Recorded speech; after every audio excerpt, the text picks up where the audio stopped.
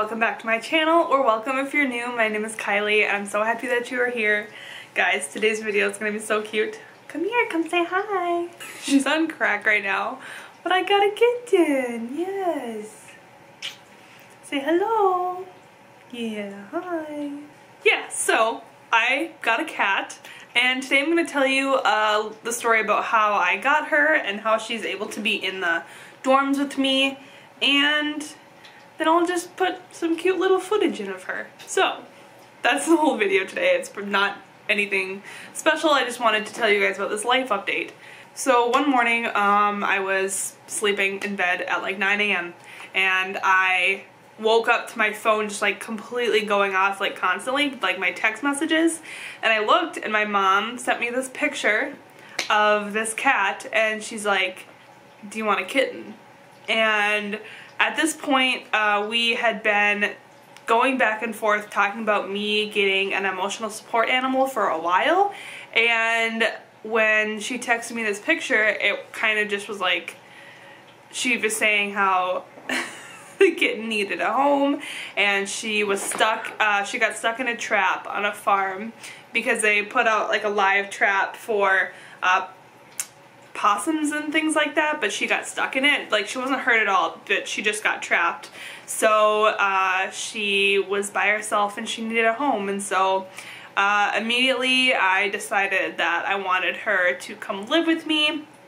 So I um, contacted my school's accessibility resources and I started the process of applying for an ESA, emotional support animal and the process itself is really quick. Uh, I just had to fill out a form of uh, basically why I was applying. And then I had to meet with our accessibility resources director and basically um, do not like an interview but just answer a couple questions for him uh, about why Luna should be able to come live with me and how it's going to help.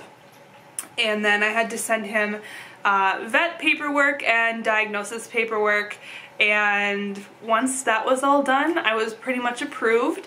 And I had to meet with the housing director who happens to be my boss because I work for housing. So he just basically told me the little the rules that we have um, for having animals in the dorms uh, and on the apartments. So so during the process my parents were holding Luna at their house for me, just keeping her there and taking care of her. And then once I finally found out that I was approved, thank goodness, uh, I drove home that weekend and I got to meet her and I spent the weekend at home um, with my parents and my brother and my family just doing normal things I guess and then uh, that Monday I brought her back and she's been here with me about two weeks now. I think this is going on the third week and she's literally so great. Uh, I didn't have any litter box issues like she has always used it. She's never gone outside of it. It's great.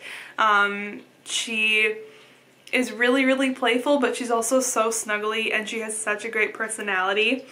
I've never once seen her hiss and she loves everyone that comes to meet her. So she's a great kitty to have and I'm so blessed and grateful that I was able to get approved for an ESA so quickly and um, she has really really helped and I have been so happy since she moved in. So that is the story about how I got Luna. Um, she is between six and seven months. We don't know the exact birthday because she was found um, on the farm and we don't really know. But she's between six and seven months and she is growing every day. She's um, medium to long hair, gray kitty as you saw, and um, I believe her, she's a tabby. And I was when I was naming her, I was going back and forth between Luna and Willow. I know Luna is a really popular name um, for animals, but Willow just didn't roll off the tongue as well as Luna did. And I don't know, I think it just fits her because we have Luna and we have Star back at home. So, I don't know, I think it works. And she's really cute. Loves to play. Um, I have so many toys for her and she loves them. I'll just ignore me. She's tiny, tiny, but uh, she's my ESA, and I love her, and she'll probably be on this channel for a little while.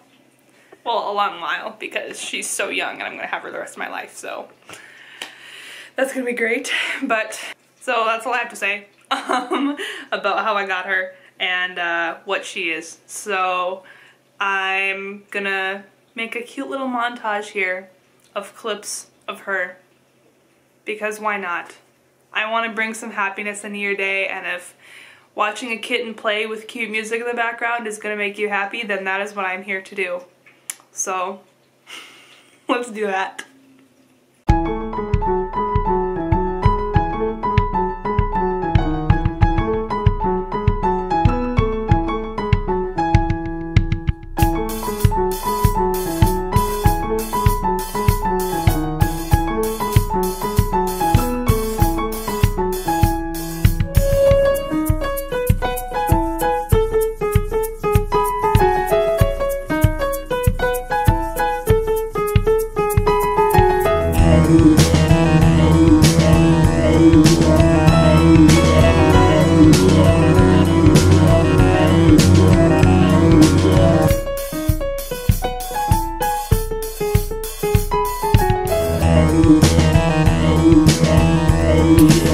Yeah.